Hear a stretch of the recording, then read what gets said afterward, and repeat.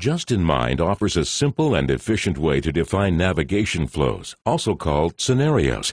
You can work on them clicking on the Navigation tab next to the User Interface tab. To create a new scenario, click on the plus button in the right side panel. Here you'll see a list of all the scenarios you've made. Double-click on one to open it.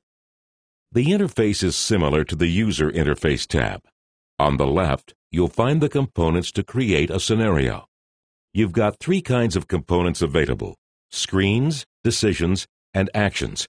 You can also use the screens created in the user interface, as they are listed under the scenario components.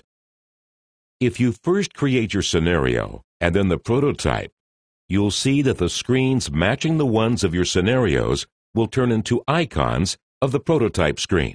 Once in the canvas, you can link the components to one another using the arrow on the components. Note that if you right-click on one of the screens of the scenarios, you can create a new screen in your prototype. Note that this navigation flows can be functional.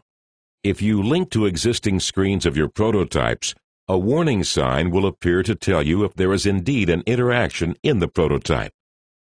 Finally, note that you can export your scenarios to a Word document with all the extra information relative to scenarios.